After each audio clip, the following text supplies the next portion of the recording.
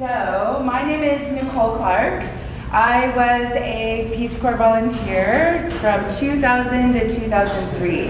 I lived on one of the outer islands. I lived actually on the northernmost island of Kittibis, and uh, it was called Makin. I was a teacher there. Um, now, I do live in the Bay Area. I am one of the NorCal board members, as well as being a college and career coach and teaching university here and there.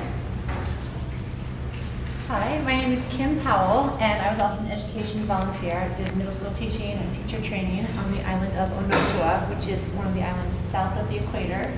I was there from end of um, end of 2000, uh, 1998 to 2000.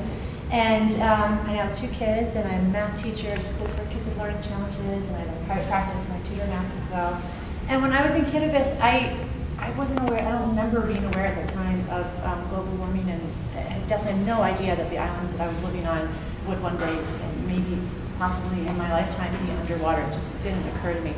I was just completely immersed in what I was doing there and loved my peace Can you course. speak up over the noise that's coming from outside, and if you have a mic, even that might be Sure. helpful. Thank you. Okay. Bear with me as I get used to the mic. You Get have to be close. very close. Okay, oh. Okay, so, um, let's see.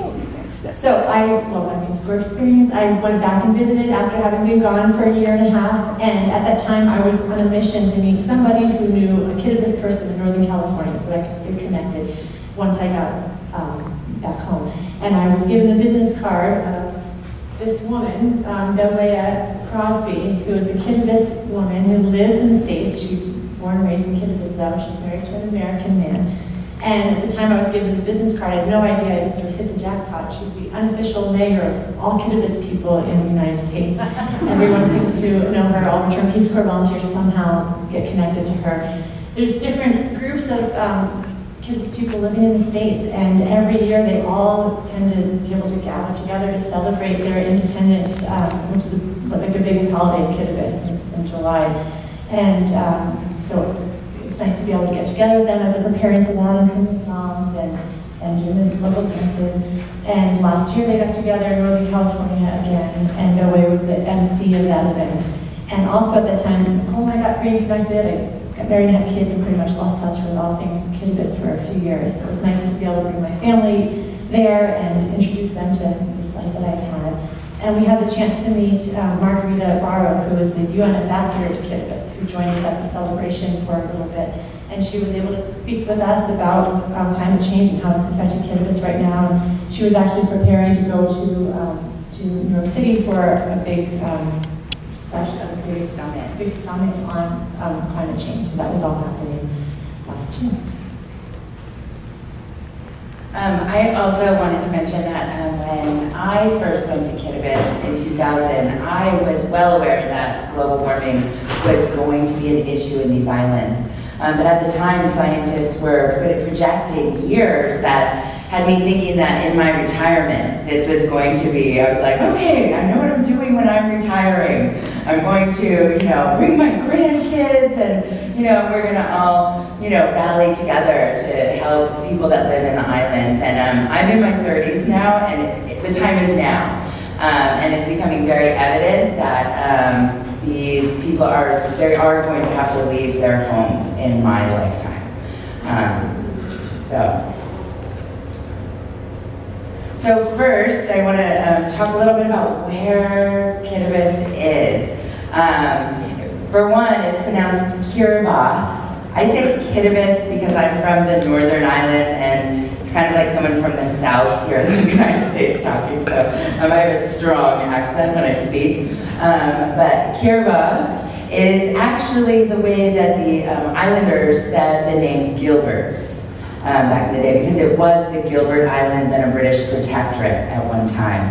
Um, you can see in this map right here, there's a yellow area. It's three island chains that are there. That yellow area is roughly the um, size of the United States. If you were to go from the east to the west coast. Um, as you can see, it has a very small landmass, but it has the biggest um, EEZ, or the biggest ocean area, um, of any country in the world. So most of what you see when you are in Kiribati is ocean. Um, also, these islands, really the highest point is three meters above sea level, and on average it's two meters. Um, two meters is about six foot six inches. I'm about six foot, so um, just a little bit higher than me is actually the average elevation on these islands. Um, the population is um, spread out over about 21 of the islands. Um, but there's only about 100, 100, a little less than 105,000 people. And half of those people are in the capital island, and actually they're in, you can see in the red part over here, this is the south part of the island called um, South Tarawa. Half the population lives in that red area. Um, so, um, according to the World Bank, it actually has a higher population density than Tokyo. Um, and when you think about Tokyo, you think of like skyscrapers and um, very large apartment complexes. Um, we don't have that in Kiribati. You know, two stories is about as high as things go there. So um, there's a lot of people living in a very small area. They say that the coconut tree, the Kiribati people have 100 uses for the coconut tree. It's their food, um, toddies, they, they drink that, they can let it ferment, that's their alcohol, boil it, boil it, boil it for hours, and it's sweet syrup. So it's a lot of, um, it's a big source of food for them. And the, um, the men that are collecting these coconut trees and doing the, not the coconut trees, collecting the coconuts, um, they let it dry in the sun, and that's called tod, that's called, Copra, and they sell this as part of their economy. Um, so the men are doing all the physical work and, and eating the same diet of coconuts and fish and rice as the women, but the women are pretty much doing the laundry by hand and um, the wash and just not as active. So the men are pretty good, they're very fit. And the, the women are um, not, not, don't get as healthy once they, they get married. Um, and, uh, and, you know, they think that's great and they're very, they're very happy with the way things are there, an easygoing, happy, you know, lifestyle.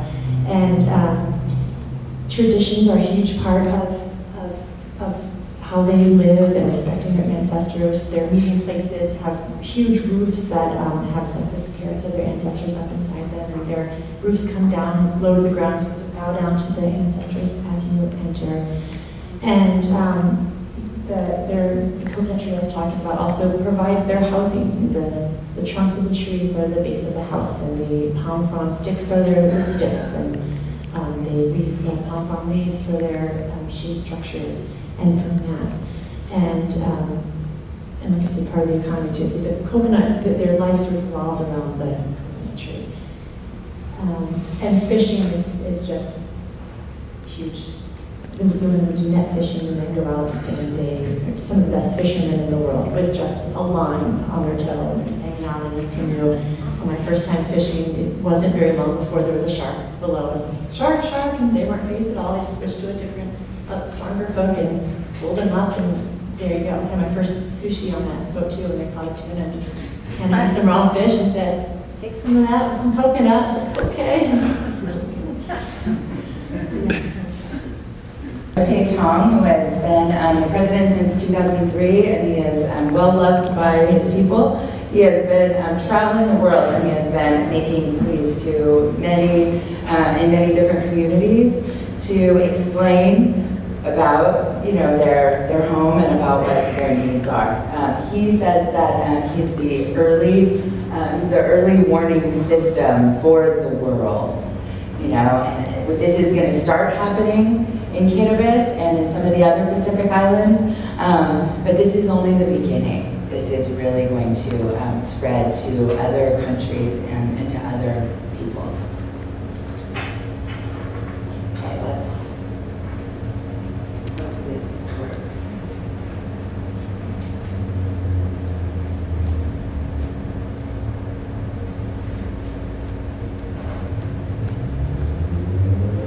Um, what's really important to um, to Anote Tong, but also and also to his people is to move with dignity and to move as empowered people.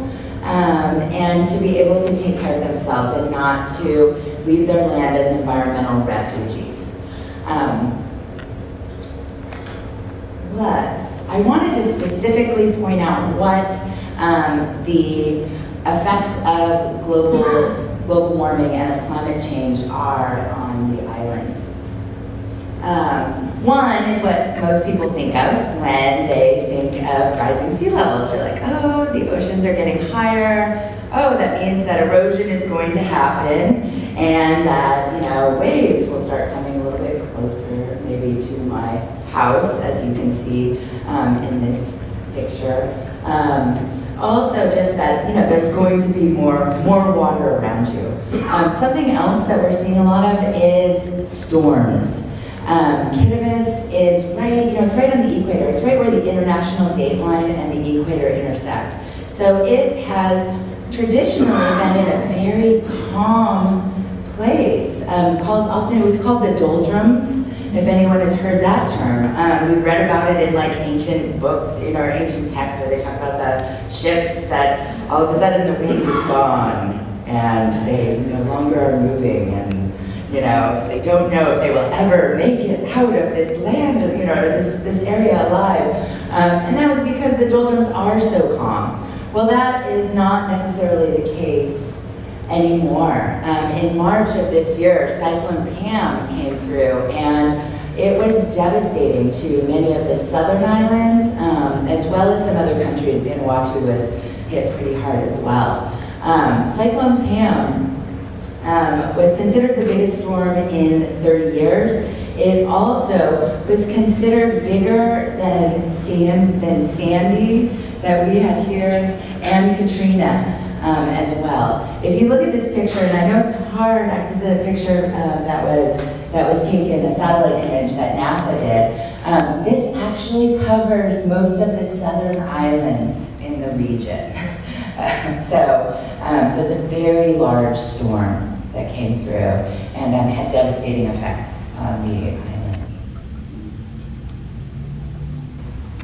Um, something else that happens is because of that um, very fragile um, fresh water lens, you start getting saltwater intrusion. And so that is when the salt water starts to come over the land and it actually sinks into the, um, to the water lens and it makes the water brackish, um, makes the water undrinkable. Um, and also affects the plants that are growing in the region. So in this image, you can see the coconut trees that, um, that Kim was talking about, this very important staple for these people. And um, the salt, they can't grow in salt water.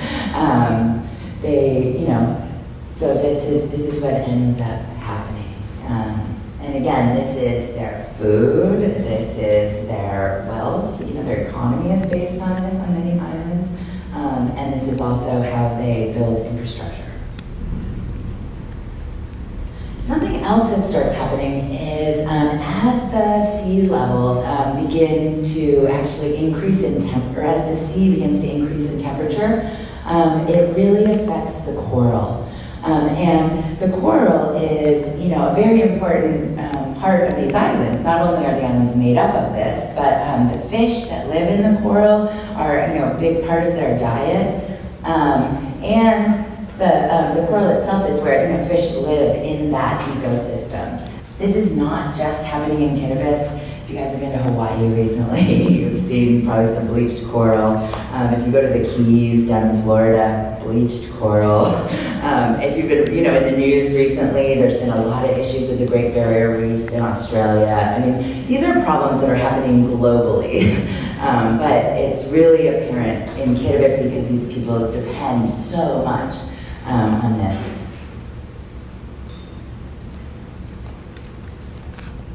Another effect of um, climate change in this is the increase in frequency of king tides. So tides are always changing, and especially with a new moon and a full moon, and um, these king tides are the, the biggest of the big tide, the high tides of the whole year. And um, historically, those happen um, a few times a year, but they've been, weather patterns changing, they've been increasing and um, the damage is building up um, over time.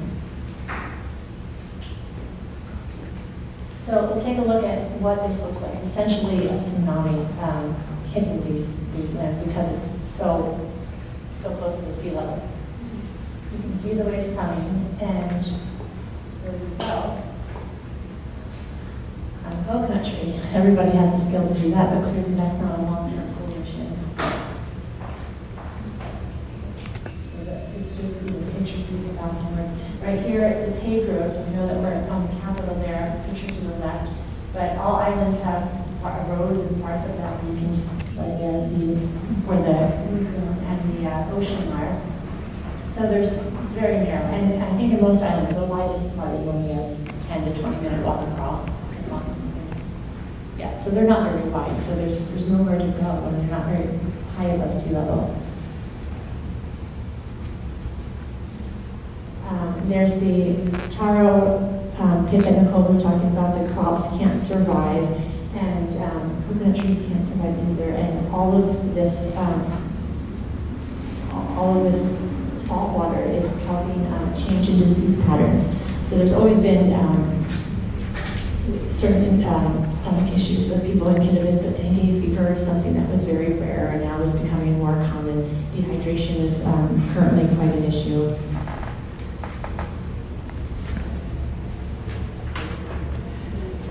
Um, so a question that might come to mind is, wow, you know, there's all of this happening in this country. So what is the government doing to um, really, you know, help their people? Um, and they have put together a three-part plan. Um, and this started, you know, it took a little while, I think, for, you know, for people to really believe that this was happening um, and to really see what was happening. I mean, still in, um, here in the United States, I know there's still some controversy around whether climate change is for real. Um, probably not so much in this room, um, but definitely in our country, this is um, um, still something that we're talking about. So um, in Kittitas, it was the same way. In 2005, they, they started to really put together a plan.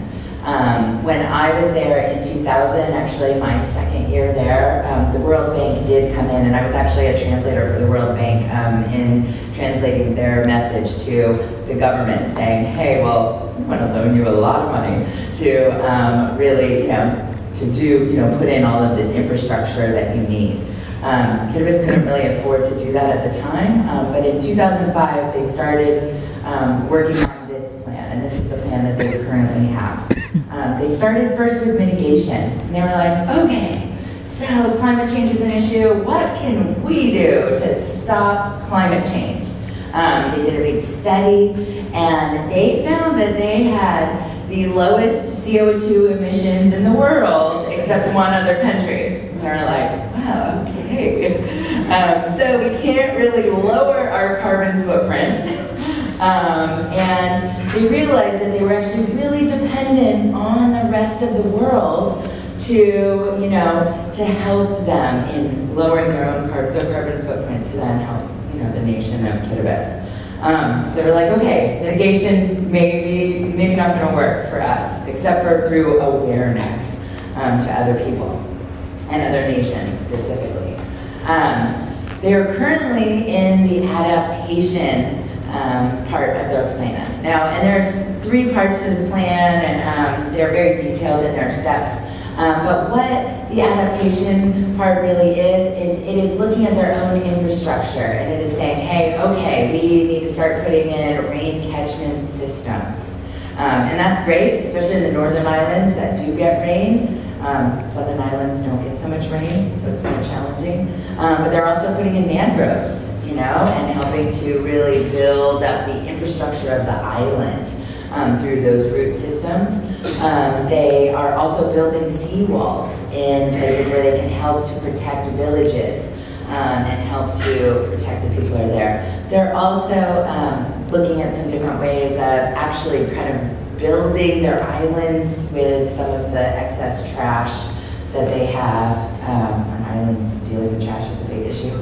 So um, they're starting to actually build infrastructure that way. They, um, they've been fortunate. They've had um, funding from the UN. They've had funding from U.S. it's USAID, from the Australia AID, from the World Bank. Um, they have been, and other NGOs that are in the area. So um, they've been starting to kind of garner funds for that infrastructure building. Um, but really, the um, the old the the ultimate the final step of this plan is migration. And as I mentioned earlier, um, this is something that is inevitable. Um, this is something that is going to have to happen to for these people, with these people, and um, they're, they're really trying to um, create their, their plan um, and figure out where it is that they are going to. It's hard to start looking around and be like, okay, where do we, you know, we have 105,000 people. How, where are we going to take them? 105,000. Um, and um, so then, you know, and I was thinking about that, like, what is that? You know, like, that's about this population of Berkeley, actually, um, as long as you stay within the, you know, Berkeley city limits. Um, but these are also people that have been, you know, subsistence livers for, um, for their, most of their lives. Um, some things that are in place right now are that they did buy a little bit less than 6,000 acres of land in Fiji. Um, but, and that is actually kind of like, that's like twice the um, amount of land that they do have in South Tarawa right now.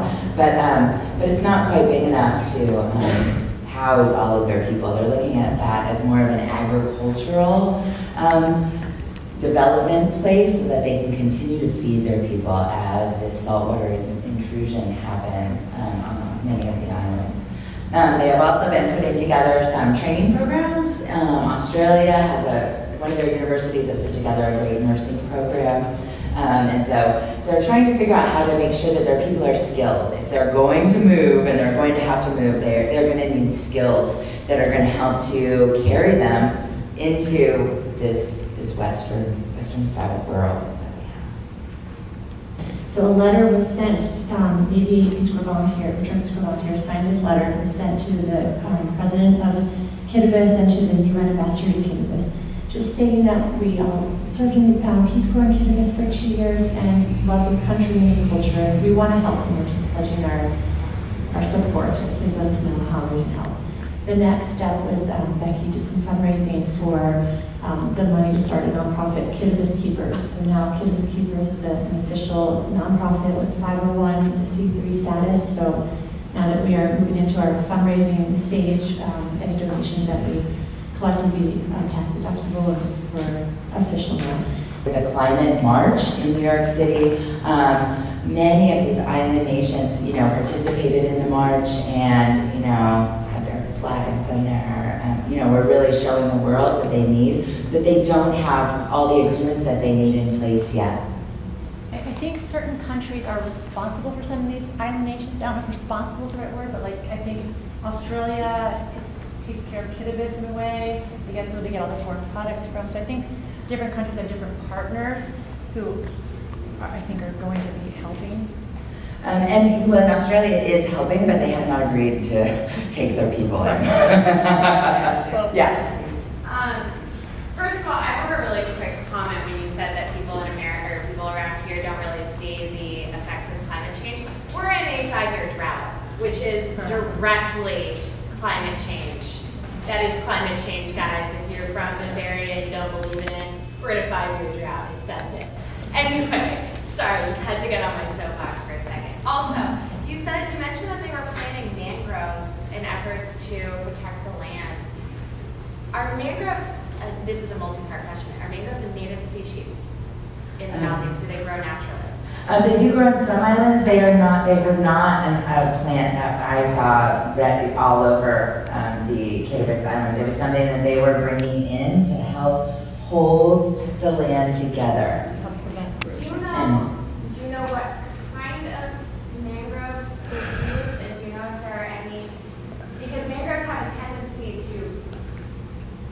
I mean, it's, it's a great idea. They do build land. Um, but I'm just a little curious about the uh, environmental backlash that could happen. Because you're, in, in essence, changing the, changing the environment. You know, know, their wish is that they can move to a place and they can keep their culture, their government, you know, their government, their, you know, their way of life really intact. Um, as of right now, there is no solution. There, that is, you know, they haven't found how to make that happen. Um, but definitely, that is, I mean, that's that's what they want. Um, Anote Tong talks about um, really wanting to, you know, let his people, you know, help his people move and be empowered through this move and to be moved to a new place with the skills you know, and the tools that they need to really be successful in this in a new land. Um, and his greatest fear is that they will have to move as environmental refugees, and that's why he is really, you know, putting the word out um, to the global community now to say, okay, you know, now is the time that we need to all work together and figure out, you know, figure out how to make this a successful move because, yes, this is happening in Kir- Kiribati, this is happening in Tokelau and the Maldives and Tuvalu. But these are only the first nations that this is going to happen to. You know, we look at our own, even our own keys in Florida, you know. Those are, those small atolls down there aren't going to be around that much longer. But yes, we have a lot more money um, and we have a lot more tools for infrastructure um, so things can last a bit longer. Yes. Well, it certainly occurs to me that one huge challenge of, of the migration, if you say there are 100,000 people all together, but they've never lived all together in one place. They have always lived in very small groups. So they moved to, so they got, you know, maybe they got double the acreage that, that Fiji was willing to give, and it was enough to actually house that many people that's a huge challenge for them to live together in a different way than they had before. And, uh, you know, it's just down the road, there's just huge, huge challenges. I- It's not really a question, but just something that occurred to me when we were talking about it. I'd like to propose that if their people are going to move, their local language may not, is not going to be what's needed. What's being done to teach people English? So that when they have to move and go somewhere else, they'll have a language that they can talk with people outside of their area. Is that something people are looking at? In the Capitol there, we've seen pictures of, of children holding signs, um, been posted on Facebook, um, pleading to the international community to take notice of. So I think um, more is happening in the Capitol right now. Um, several years ago, when I first heard that Kittivis wasn't going to be around in 50 years, um, a friend of mine in the Capitol had Gmail, and I, I was instant messaging her, which is pretty amazing to me. And she, I, she said, yeah, the president's going to want us to, to leave, but we're staying. You know, like there's still the mindset there that, um, but, but you know, that was several years ago. So when, when if you were on an island just now and your island's flooded, you have evidence that, oh my goodness, things are really happening. So I think, um, you know, especially some of the, the older community there, um, I mean, it's their land, they don't, they don't want to leave. So it's just issue. Yeah. Um, so the Kittiwas language was actually written by the same missionaries that wrote the Hawaiian language. Um, and in Hawaiian, there are no S's. Um, and so when they, they took the same, the very same alphabet after putting together the Hawaiian language, and 13 letters, and brought it to Kittiwas, and they wrote, then, you know, proceeded to write, you know, the Kittiwas language there. Um, so TIs um, became, are pronounced like an S. Um, and it's actually really interesting because they also don't use the L. There is no L in the Kittiwas language, um, whereas in Hawaiian you see a lot of L's. So it was not really a great fit for the alphabet to go from Hawaiian to but, um, but I know it was helpful for me in learning the language to have it written down. G's is a K. So the Gilbert T's, it's Kittibacy. It's as close as you can get with 13 letters. yeah. I know research has shown through various studies that statistics are not very effective at persuading people to change behavior, but emotional stories are. So I'm wondering if RPCVs have a role to play in getting kind of the individual stories out to let people know, you know, U.S. actions are affecting people's homes and families. Um, that is, you know, that's a great point. So I don't know if everybody heard that about using uh, stories and really using, you know, kind of the showing the personal side of um, what's happening um, to families and to people in Kiribati. Um, and that's a big part of what, that's one of our really our first steps is awareness. Um, I think people don't realize what's happening in other, in, in a lot, of, you know, a lot of these Pacific Island nations, and um, we, and the Kiribati keepers, and um, you know, we that awareness is one really the first, I think the first step, and um, and also showing. I had it up there before, but that there are cute kids and and you know and great families and you know I mean there's amazing people in this culture.